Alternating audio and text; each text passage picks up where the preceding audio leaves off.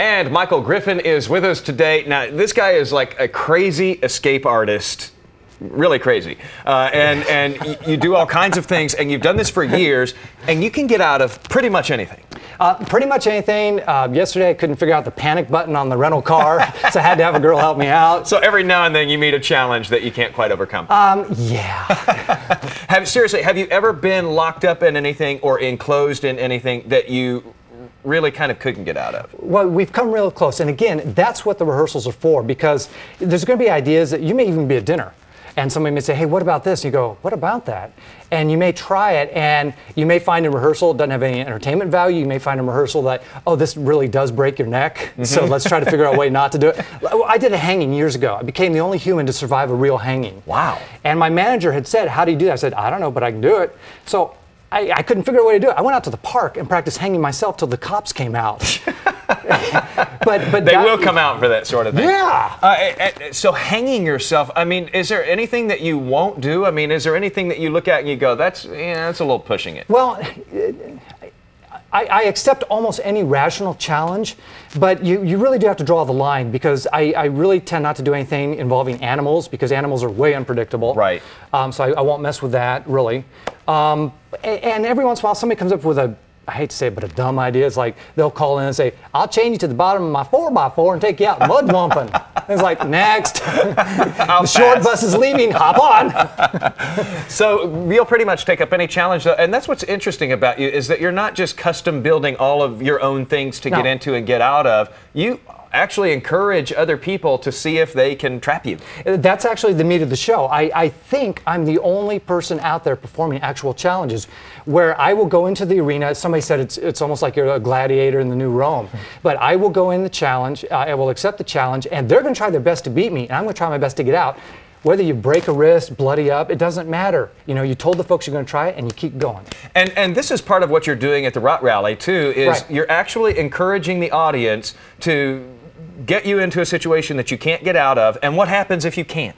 Well, the thing that we're working with out at the Rot Rally, which is really, it's very interesting, it's cool out there, um, is I'm working with a $1,000 rope challenge. So you've got people coming up from all walks of life there, and they want to tie you up with a rope. And if I can't get out, they go home a grand richer. I like that. And we had a group of them come up at the first show yesterday. And they really did a good job. They actually tied me up to a chair. And I think they did it around my neck so tight, it was like bulging. but you made it out. No. Obviously, he did. Uh, you know, uh, you've encouraged us. I'm going to tie you up to it. You're going to become the first Austin Live guest that we've tied up. Okay. I guess that's promising, isn't it? That you're the first. Uh, but first, I want to see you get out of these handcuffs. We have some special Yeah. handcuffs. Our intern here on Austin Live, her name is Kika. She does a phenomenal job. She's providing the handcuffs and the key, please. Yeah, I'm going to open them up for you. And these handcuffs have a story. Yeah, there's actually an interesting backstory. When I first moved out to Hollywood, um, I, here's the key. D1 I. I was always into collecting old magic or Houdini stuff and everything like that. And I met the acquaintance of a guy, and he said, Well, you know, I'll take you up to where the old remains of the of Houdini's estate are because it burned down years ago. Hmm. I said, Are you serious? So we went up there. It was really freaky. And he goes, Now, I can imagine. yeah. I, and well, I had a vibe to it. And he goes, Now I'm going to take you down to another collector who's got a whole bunch of the artifacts that were found there. And I was able to walk away with these. Wow. Did they cost you big? It wasn't that expensive because it was like 25 years ago, maybe 30 years ago. That's very cool, though, to have um, something of Houdini's. well, yeah, well, I like the history of them too. I mean, because you've even got some of the burn marks on them. Still. Oh, yeah, from the fire. Yeah. Okay, so you're going to put yourself in these. Yeah. Okay. And what I'm going to do, people have always asked, they've always said, when you do a handcuff escape, it's you're usually hidden from view or you're in a jail cell and we can't see you do Right. it. So I thought what I would do for you is I'm actually going to do a, a handcuff escape visually and maybe, you know, entertain you. Okay. I'm sure you will. Well, hopefully. So the real handcuffs. Yeah, you've got the key. I've got the key. Okay, so watch this. Hmm, one hand out. Now, a lot of people are going to think because it's a smooth handcuff, you just slipped it off because there is some movement there. Right. So I'll even make it tighter.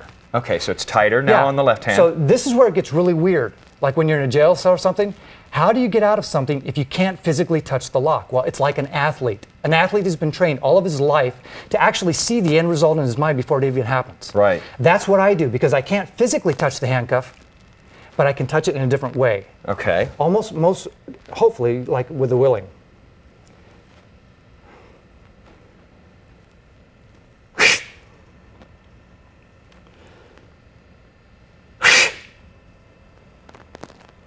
What did you do? and there you go. How did you do that? I've been doing it forever because what you do is if you actually believe, you know, all of us are locked up in a straitjacket all of our own. It's not a physical straitjacket. It could be drugs Sometimes it and is, alcohol. but yeah. Could be could be uh, negative thinking. Could be peer pressure. It doesn't matter. But Right. when you find yourself in those straitjackets and you want out, put your mind to it, and you will escape. and you've actually been in straitjackets and found your way out. So you Yes, know I what you're have. talking about here. Yes, I have. That's phenomenal because I was watching your hand, I was watching your wrist, and uh, nothing moved. That's creepy. Some people I think it's di- well, they think it's dislocation. Can you get in tight on this one finger? Because I can do, I can bend it like that, or take it off. No, I'm just kidding. that Whoa, wasn't that was real. creepy. That, That was was, not real. I like that. Okay, so now let's tie you up. oh, Do you mind if we tie you up? Come on on, Kika. We're going to uh, do a little experiment Okay, here. let's do something here. I want We've got Kika the Jason intern on one Kika. side. What I want you guys to do is pull on the rope because I know the folks at home don't get the advantage of actually touching the rope. So Okay. will you guys verify for the folks watching that it's just a piece of regular rope? It's a real rope. It doesn't break anywhere. nice move. All right. Trusty assistant Jason. Jason, what I want you to do is hold the rope out like that. Okay. Because I'm going to put my wrist down. Okay. And then I just want you to bring the rope up on top of the wrist. Okay. And just tie a knot. And then Okay. Kika, I'm going to have you come in and help him. Okay. So behind the, the bone flare. You Okay. understand? Yeah, so Okay, that you don't have up a lot of- That's okay. right. Bring it up tight. All right. Kika, will you put, uh, come in and put your finger in? Wait, do I need to do this first? I think I need to. There. There you go. Okay. Okay. Now pull the next knot on it really super tight. All right. I'm the worst knot maker. That's okay. But okay. Okay, and do one more to lock it in. All right. Okay.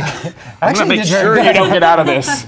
All right, Kika, will you hold on to your end over there? Jason, will you hold on to your end over there? I got it. Okay, now what I'm, you can see some of the cuts on my wrist from other escapes. Um, but what I'm going to do, a producer once said, if we tie you up with rope, can you escape as fast as is humanly possible? And I, I said to the guy, I said, you know what? It might be possible to escape faster than humanly possible. And he goes, no way. And I go, way. He goes, no way. I go, way. So you guys have tied me up, and you've tied it up behind the bone flare. Right. So you can see it's impossible to go down. Hold tight. It's impossible to go up. It's impossible to go forward. And because it's behind the bone flare, it's impossible to go backwards. So I want you to pull tight. Pull tight. Pull real tight. Get it, Kika. Pull it. Pull it tight. This does nothing for it, just builds up suspense. pull It's it a tight. good You got workout, it? too. You got it? Pull tight. How did you do that? Look, the knot is still there. We tied it behind the bone flare, and he got out. And you, you're hardly red. That's amazing. Got to go see this guy. He's at the Rot Rally. Check him out. If you can tie him up, we couldn't obviously and keep him in there, but if you can, you get a thousand bucks for it if he can't escape. Thanks for coming on with us. Thank you for having us. It's a pleasure. Check this wrist out. All right. Very nice.